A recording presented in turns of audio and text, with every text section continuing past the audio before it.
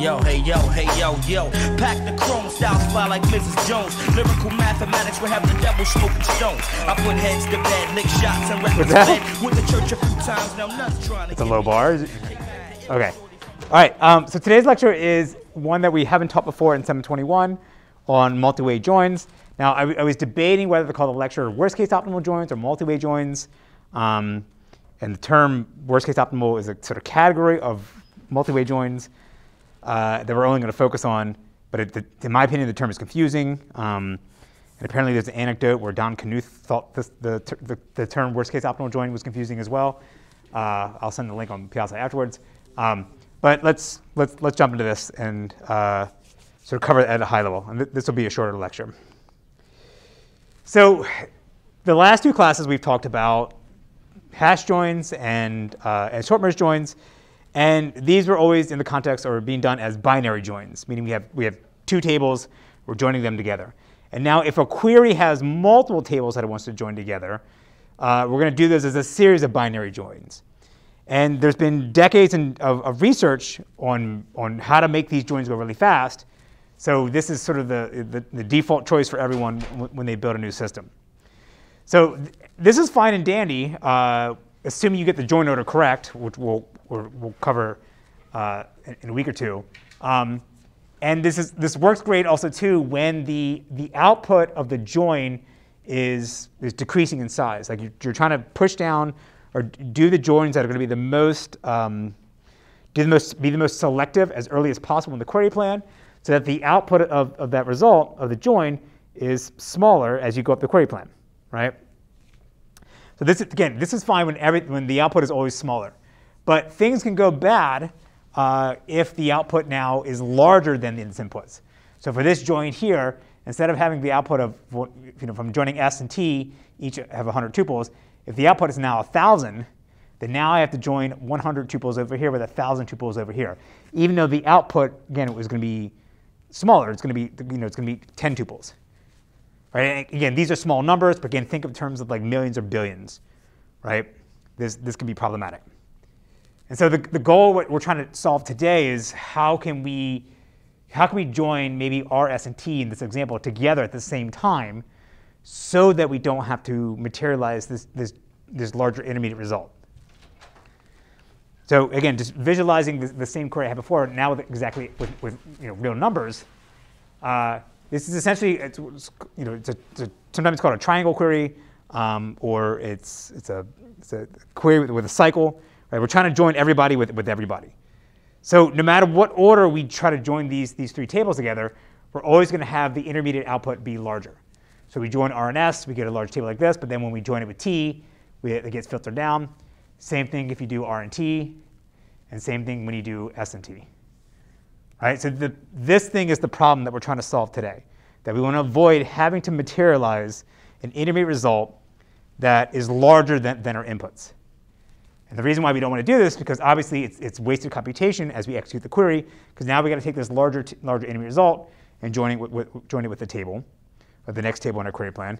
And obviously, oh, we also have to now materialize this in, into memory or in disk. So we're wasting storage space while we do this.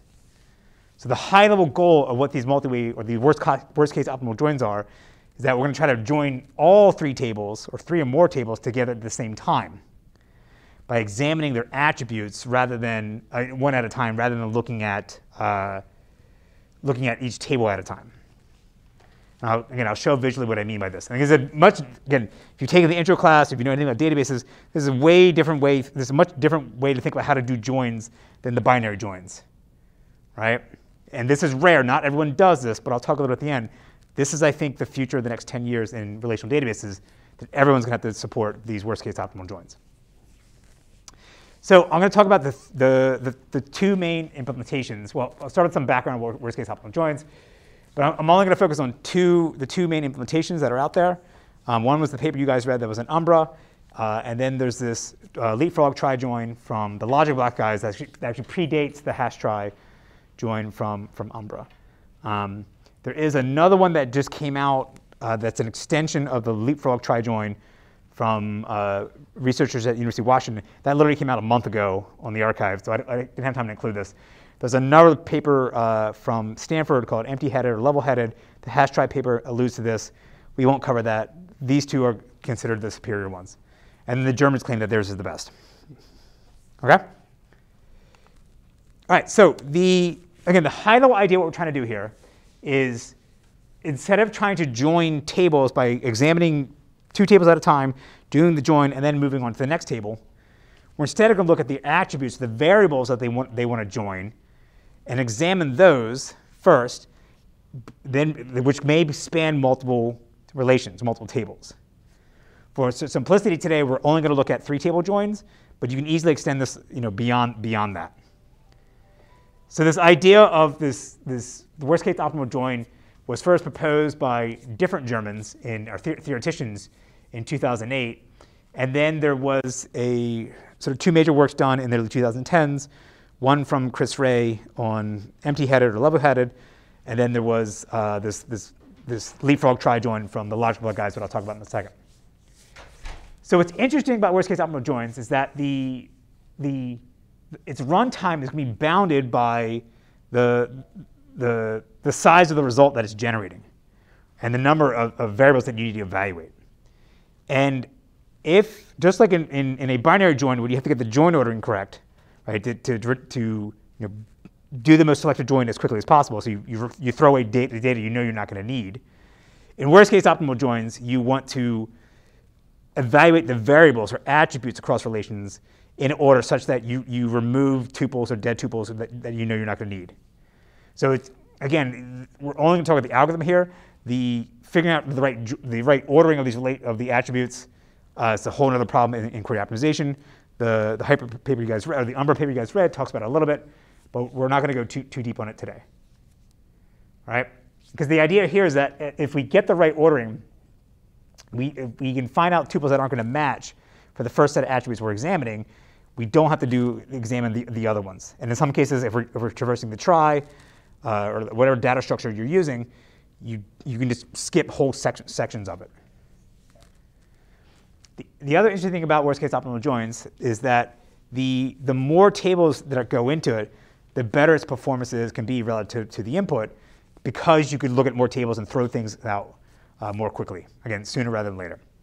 All right, and this is sort of the opposite behavior of, uh, of, a, uh, of, a, you know, of, a, of, a binary, of a binary join right? We really have the notion of, of more tables, but like it's the, the, behavior isn't sorry the runtime isn't exactly bounded by the output size. It's a, it's a different beast, right? So. I, again, for me, when I, when I read these papers, the worst case optimal join seems kind of counterintuitive, right? Um, and there's, there's, a definition from this professor up in Waterloo who's building a, a, a graph database that, that, supports worst case optimal joins. Uh, and he has in his, in his blog article here that, that, that, that I'm citing, he talks about the, the, the, definition means, the definition of what you think about worst case optimal is that it's the, it's the worst case runtime of the algorithm. Uh, the worst case runtime of the algorithm will, will, meet some lower bound that's been defined. Um, that's going to be the lowest, the lowest runtime of all possible join algorithms for the worst case scenario. That's kind of confusing too. My definition, and again, I'm probably wrong, but I'm sure someone will correct me on, on, on YouTube, uh, that the, it's the runtime of the join algorithm is better than all other join algorithms when the query and the data that the query is going to process represent the worst possible scenario. Right? That, that you're going to do better than, the, than a binary join could possibly do. It may not be fantastic. You know, it's obviously not going to be you know, log n to do the join, but it's going to be better than what you would have done if you did a binary join. And again, this, this link here will take you to a footnote in the blog article from the guy at Waterloo where he talks about Don Knuth did not, he did not like this term as well. And he's a professor at Stanford, so you know. All right. All right, so there's not very, very many systems that implement this. Right? The, the graph database systems don't do this because they, they don't really have a notion of tables and doing joins, right? They're doing graph traversals of, of, of the, you know, of, of, the, of the data structure.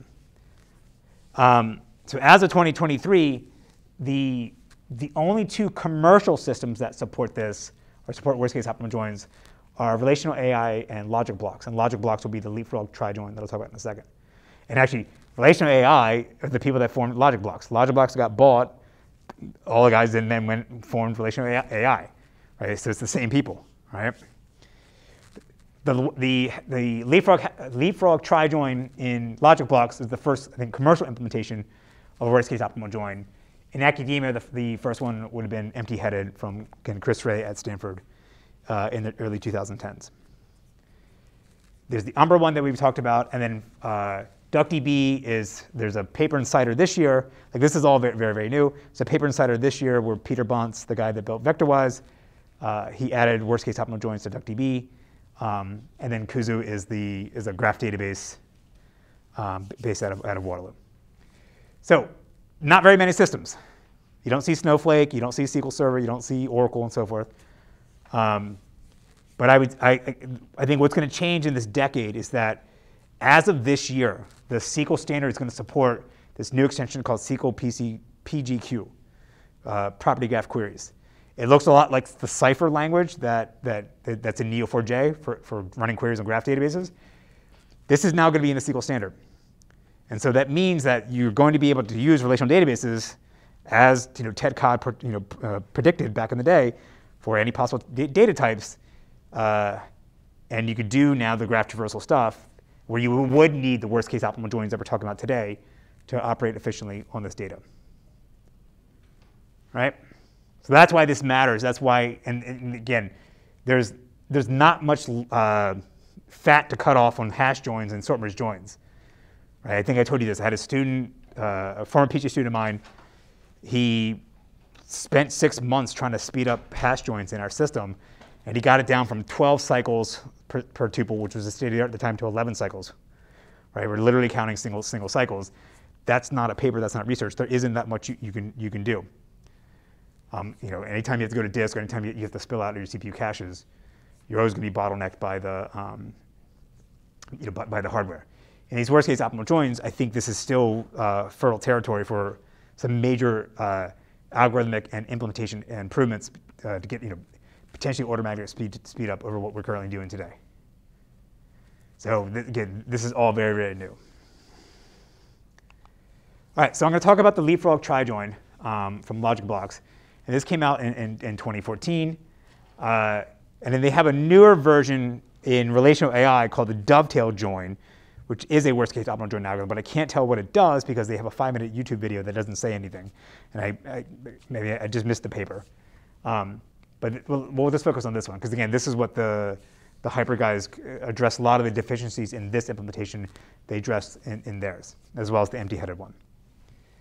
So for this one, they're going to assume that all the, uh, the, the, tables you want to sort are either going to be uh, or you want to, tables you want to join are going to be sorted ahead of time on the join keys, or you're going to build a, uh, a trie index for them on the fly. And then the idea is that the, the trie is going to represent the, the, the, the join key itself, and every, every level in the trie will represent a different attribute that, that's going to be computed as part of the join. Does everyone know what a trie is? Does everyone not know what a trie is? All right, all right then, then I'll, I'll, I, well, I'll just show this quickly. We, we used to teach tries, and then students didn't know what, didn't know what they were. Uh, in this class, we used to teach a whole lecture on like radix trees, tries, the ART index stuff. Uh, and I might have mentioned this at some point in the intro class, I forget. Uh, but just, just quickly to make sure everyone knows, knows what it is. It's intro class project zero. oh, it's project zero now? All right, even better. Yes, perfect. Okay, sure. All right, this is what a trie is. So instead of like a B plus tree where you store, store the entire key uh, inside of a node and do whole key comparisons, and a trie, you break up the key into its individual components or digits, and then you store those at the different levels. So let's say I have three keys, hello, hat, and have. So the, the way you would, you would represent or find this key would be the path into the trie. So at the first level you have H, because that's the, and you only have one entry at the, at the, at the top level because that's H is the common letter and all, all the keys. And then going down here, you find H-E-L-L-O, right? So tries are old. They're like from 1959 uh, by some French guy. And then the, the term trie was coined by this guy, Edward Fredkin, uh, Fredkin, who apparently is faculty here at CMU. I think he's still alive. I've never seen him, but he's still. I think he's still listed. Anyway, tries are really interesting. Tries um, are a alternative to, to B trees or B plus trees. They're not that common because the you know the cost of representing these different levels when you have these these variable length uh, size nodes can be challenging. Um, but they show up in a bunch of interesting places. I know the Cassandra guys are making heavy use of this now for their LSM. Um, it's, a very, it's, it's, it's, one of these data structures that the days people have kind of like ignored for a while, and then the HyPer guys brought them back into vogue about 10, 10 years or so. Okay, so let's see how we can use these to do a, uh, the, the, the trie join with in, in LogicBlox. All right, so we have our three tables, x, y, z. Um, again, and the way we're going to, to, to do the, the join is basically we're going to iterate through the trie uh, and do comparisons to see whether we have a match across the different relations. And we sort of go one relation at a time uh, looking for a match. So the first thing we need to do is sort it. Done that. And then for simplicity, rather than show me, I'll show the trie structure in the next slide. I'm just going to show you like here's, here's the values you could possibly have. And so for each of these, you start with the iterator that's going to you know, walk the list of, of, of values. And you start obviously with the first position. So the x iterator starts at 0, the y iterator starts at 0, and the, the z iterator starts at 2. Right? That's, that's the initial starting point. So now, again, we're going to walk through one by one of the, the, the different lists of values from the different relations and try to see if we have a match. And if, if we know that the, the last iterator that we looked at has a value greater than, than the one we're looking at, that our iterator is currently pointing at, we need to jump ahead or leapfrog ahead into the list to try to find a match. So in this case here, if we start with the x iterator here, the last iterator we would examine upon initialization would have been z. So z is looking at 2. We're pointing, we're, sorry, z is pointing at 2. We're pointing at 0. 0 is less than 2, so we got to jump over until we find either 2 or the first value that's greater than 2. Right, so in this case, it would be 3. So we, we increment our iterator to 3 here, and then we move down to the next iterator. So again, the, the, so the last iterator pointed at, at 3. We're currently at 0. 0 is less than 3. So now we need to jump to the first value that's greater than, uh, equal to or greater than, than 3 which would be 6. Same thing, come down here at, at, at z. Last iterator is 6. We're pointing at 2. So jump ahead past 4 and 5 to get to 8. Come back around. We jump uh, 8 here. We jump to 8 here. And then now we have a match. Right? Conceptually, that's what we're doing. Right? And then obviously, this, is, this would be expensive to sort of have a list like this. Um, and so we're going to use, uh, we're going to use tries to speed things up. Right, so we're going to take the same list we had before, but now the, the different attributes we're going to represent at different, at different, uh, different levels in the trie. Right, so in the, the, the, first level will always just be the, the, the identifier of what relation we are, so relation R.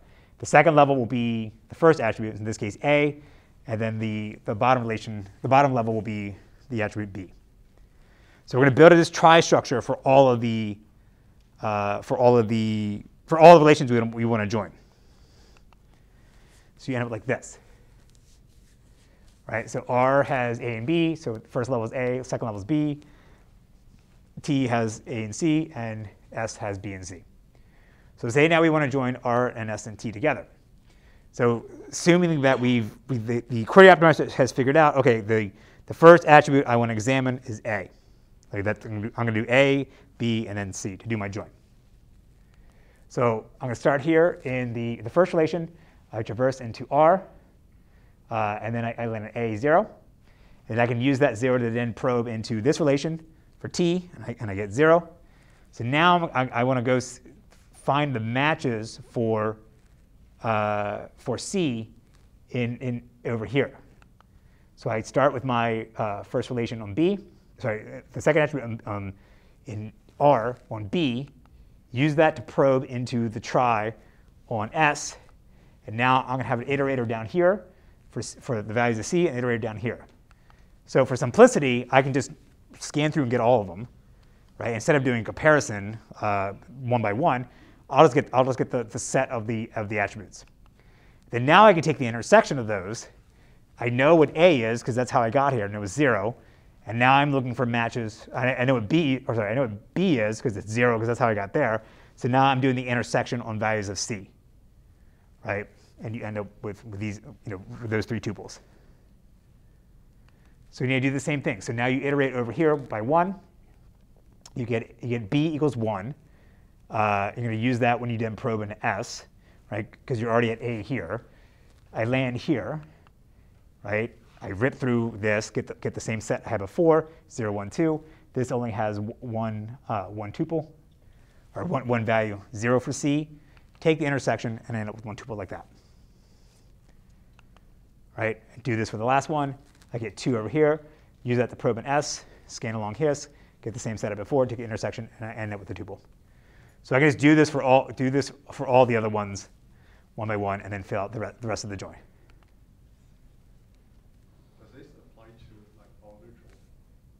Uh, this question, is, does this apply to outer join? Uh,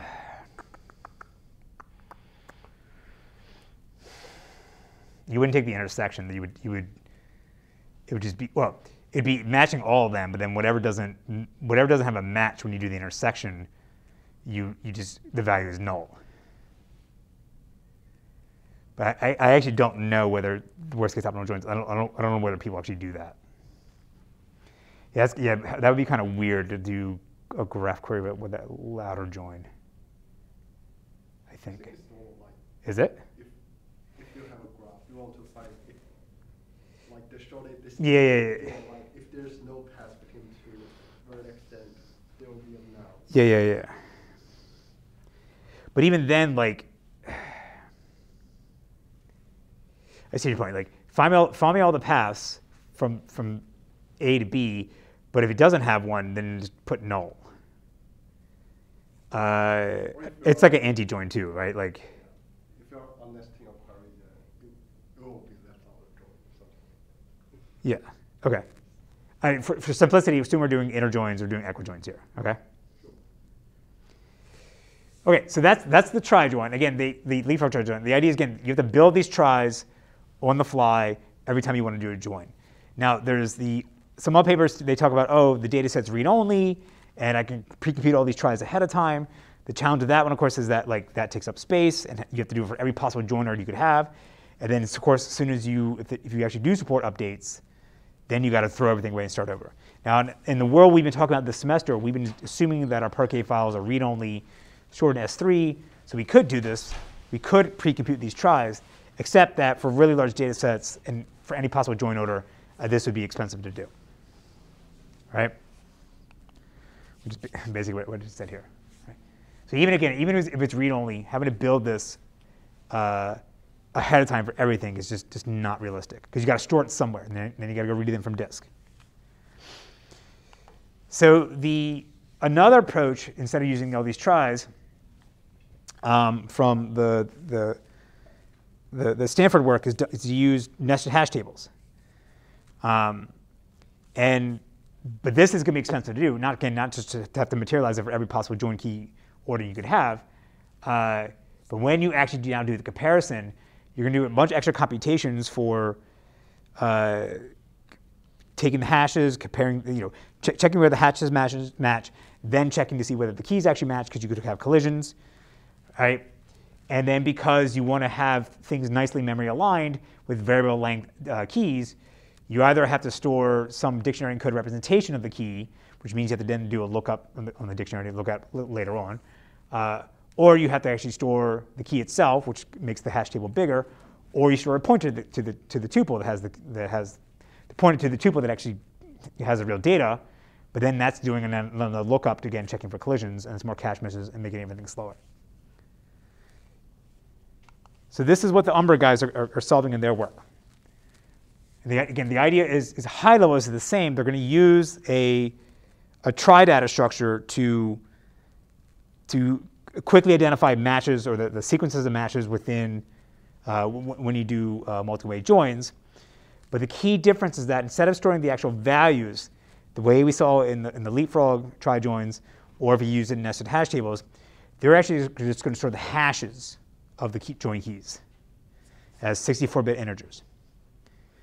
And the advantage of that one is you get now as you do traversal of the of the, the hash trie, you're comparing integers, not actual you know, strings and, and other arbitrary values. So that means you can have a very tight code in, in your implementation that only is, is operating directly on, on integers. It also solves the problem of dealing with uh, variable length data because everything gets put into 64, 64-bit values. So of course the problem with this one is that you, you could have collisions, right? Two different distinct values hashed to the same hash value. So you do need at the end of, uh, once you've figured out the intersection of what, what, what tuples actually match, you then have to go follow up the original tuple and see whether it's a true, uh, it's a true match or not, right? Whether, or whether you had a false positive. So I like this paper because it uh, it's not too deep on the theory, but also like it really explains a lot of the the low level details of what they had to do to make this thing performant. And so I had you guys read the original paper that came out in SIGMOD. There's a follow-up tech report published at the same time. It's, it's one of the citations that goes through more detail of like all the different design decisions and optimizations that they made. So this is the data structure that, that they're proposing here, right? So again, it's just a trie, nothing special. Uh, but they do some interesting things like they, they store, uh, they basically store all the key value pairs in the, at each level as 16, 16 bytes, right? Eight byte, eight byte keys or eight byte hash values as the keys, and then eight byte pointers, but the pointers are special. We'll talk about in a second. And then you have pointers down to the lower levels. And at the bottom, it's basically a giant linked list of all the, the, the tuples that match or that, that correspond to the different uh, down through the hashes. So there's, there's three optimizations I want to discuss that I, think are, are, critical to make this work. And the first is how they're going to represent their pointers. Um, and then we'll talk about how they do uh, minimize the amount of unnecessary work they're doing when they build these, these tries. Um, and then we'll talk about how they can do sort of fast path for uh, sparse, sparse data sets, sparse, sparse tries. There's another optimization they're doing about this, like this uh, uh, doing address shifting. Basically, it's a way for them to represent things in, in, in smaller numbers at the different levels. All right, so the first thing optimization they did is what they call tagged pointers. And we saw this technique before when we talked about the way HyPer-represented pointers in their hash table or chain hash table for joins. All right, So remember in x86 64, even though we have 64-bit pointers into memory, the hardware like Intel and AMD, they only use 48 bits. Okay? So that means you have 16 bits, you can put anything you want, and the hardware is just, just going to ignore it and drop it. So what they're going to do is they're going to store some extra metadata about what the pointer is pointing to uh, so that the, the code knows, okay, I'm, I'm following this address to some, some, the next level might, might try, wh what is the memory layout? What, what's actually going to look like? Because the, the, alternative is you have to have a sort of a lookup table and says, okay, well, the, you know, you're jumping to this address and here's, here's the size of the chain or here's some other additional metadata about it. But instead, they can, they can represent it in just the 16, 16 bits. So the first thing we're going to have is a single bit for this, uh, of whether the path is a singleton. And that basically means, or I'll show the next slide, that like there isn't additional levels in the trie as you do your join. Um, it's just you, you could jump down directly to the, the, low, the lowest level, the leaf nodes. So you, you, and you have a single value to look at. You have another one bit to represent whether the, the, the, the pointer is pointing to a, a node that's been expanded. And they're going to do this because they want to do lazy expansion. They want, they want to lazily build the trie as needed rather than populate the whole thing all at once. Again, well, I'll cover this in the next few slides, but basically, if I call create index on a table in any database, it's going to do a sequential scan and build out the entire B plus G or hash, hash index, whatever it is. And in their world, because the way, because you're doing joins and it's an ephemeral data structure, you know there's going to be some paths or some parts of, of the data structure you're never going to access. So why, why build it? So they're going to build it on demand. Then they're going to maintain the, uh, the uh, in 14 bits, the size of the, of the chain uh, that you end up pointing to. And this allows you to do the, the allocate the memory you need for the upper level nodes as, as you do uh, on-demand expansion. And then the last 48 bits is just the memory address. So let me go through, again, the, the, the singleton and the uh, singleton and expansion op optimizations. So with, with singleton, the idea is that if I know that from some point in, in my, my trie, as I'm doing my join, it, there isn't any branching. It's a straight path down to the actual tuple, right? Then I can, rather than storing the intermediate nodes down to that, that leaf node, I just have a direct, direct path to it. So in this case here, again, so think of like the first level is, is hashing on the first, the, the hashes of the first attribute I'm doing my join on, and then we have the hashes of the second attribute, and then these are actual, the underlying tuples that, that I'm representing. So for this, for this hash on, on an attribute, hash, first hash, a first attribute joined on, on attribute zero or value zero, there isn't any alternatives. It's only going to be, the other attribute is going to be one. So it's, again, it's a straight path here. So what I can do instead is, instead of storing that, that intermediate node, I just have a direct path to the bottom. And then I set a bit to, to tell me that the thing you're about to point to is going to be the actual data you're looking for, not the other value. And again, as you traverse a, a, a B plus tree or a trie, you're obviously keeping track of what level you're at, right? And so you would know, okay, if it was, if it was a, a balanced tree, you would know, okay, I'm at the leaf node, Therefore, I can interpret the, the data I'm looking at a certain way. Because otherwise, you have to store metadata in the actual node itself to say, OK, this is the leaf node or this is whatever. By storing that single bit in, in, the, in the pointer that's pointing to this thing, I don't have to do any lookup. I know that I'm jumping to something that's going to be the actual tuple and not, a, not another node in my trie.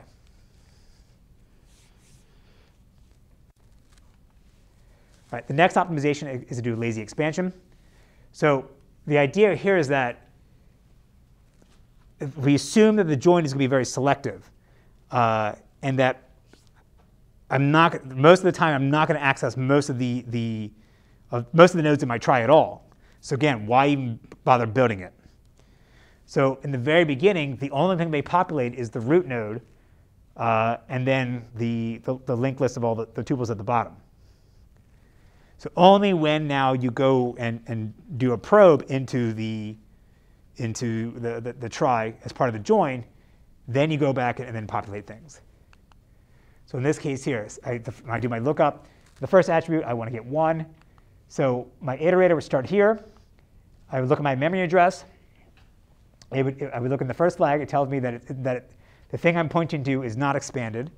And that's, so therefore, it's going to be the, the last level. So now when I come down here, I know I'm looking at this, this linked list of all the values or all the, the sets of tuples that correspond to this hash value, the first attribute. So all I do now is just traverse along this, get, get, get the list of those tuples, and then now I want to expand it for the next query that comes along, or the next, next probe into my hash table comes along that may go down the same path. I want to go ahead and build the, the intermediate, intermediate node here, the, the second level. And so what they can do is they store the, the length of this chain that I'm pointing to down here in the, in the, in the pointer at the, at the root. So I know the size of this value I expect to see. So I can allocate this now, right, as, I, as you know, at the very beginning, do the traversal, and then populate it as, as I go along. Because otherwise you have to, again, scan this linked list and not know the size until you, until you finish scanning it. So after I do this, then I go back and update the, the, the, the pointer in the root to now set the expansion flag to 1.